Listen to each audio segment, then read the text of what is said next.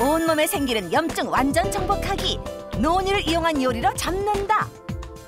그래서 실제 활용하는 예를 한번 보여드릴게요. 아까 두 분이서 즐기는 음식에 대해서 나왔었잖아요. 네네네. 수림 씨 같은 경우에도 탄수화물 많이 먹고 케이크라든가 라떼 즐겨 드시잖아요. 음. 자 여기 비빔국수에도 어때요? 양념장 특히 국수는 비빔국수를 네. 드신다고 했는데 바로 끓이면 양념장에다가 아, 솔솔솔 뿌리면 예, 되겠네요. 뿌려서 드시면 이거 자체가 또 항산화 작용을 해주기 때문에 어느 정도 피해는 줄여줄 수 있는 효과가 있고요. 라떼도 마찬가지예요. 뿌려서 드시면 되고 또 어머님 좋아하는 음식 중에서 된장찌개? 된장찌개. 된장찌개 문제는 나트륨 성분이 높은 건데요. 이 논이에는 칼륨이 또 풍부해요. 그러면 염분 배출을 도와줄 수 있고 또 고기 구울 때 고기를 구울 때 뿌려서 예, 하지. 뿌려서 구우셔도 돼요. 예, 제가 집에서 먹는 방법을 좀 활용해 봤는데요. 먼저 그냥 주스입니다. 그냥 물에도 타 먹어봤는데 물도 맛이 없으니까 이런 토마토 주스 같은 데 있잖아요. 예, 이렇게 해갖고 요 정도 타갖고 네.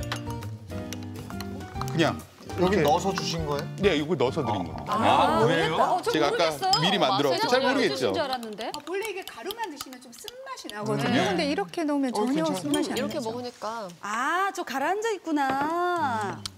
너 거기서 노니? 내 입속으로 들어가자.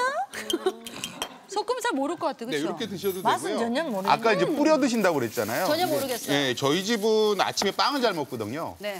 그래서 잼에다가 같이 섞습니다, 살짝. 논의를요? 예, 예.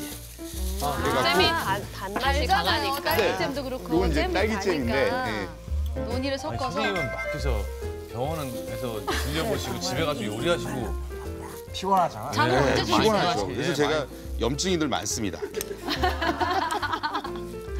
예, 이렇게 타갖고요.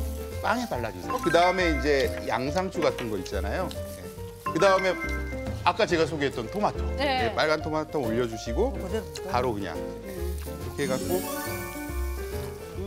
어, 맛있네. 맛있네. 의외로 맛있죠. 달달해서. 그러니까 논의가 어떤 음식에 들어가면 뭐 특별한 맛을 내는 건 아니네요. 네, 예, 그렇습니다. 활용하기가 그래서 우리가 것 그냥 어, 먹기가 좀 안 좋다고 그러면은 음. 좀 맛이 없다고 그러면 맛있는데 섞어준다는 섞어주기. 그런 개념으로 하시면 돼요. 전혀 모르겠어요. 섞으면 뭐니? 어. 어머니 아까 삼겹살 좋아하시대요. 삼겹살 기름장에다 넣어서 뿌려서 찍어 먹어도 되겠네. 준비를 해주세요. 아, 논이 삼겹살이요? 삼겹살을 준비해주세요. 구워야 되잖아. 미세먼지. 미대머니. 그다음에 이제 또 하나의 응용은 이제 샐러드입니다. 그래서 집에서 그냥 드레싱 있잖아요. 예, 드레싱에다가 딱 섞어갖고요. 이 샐러드. 맛있다. 맛있어요. 샐러드에다가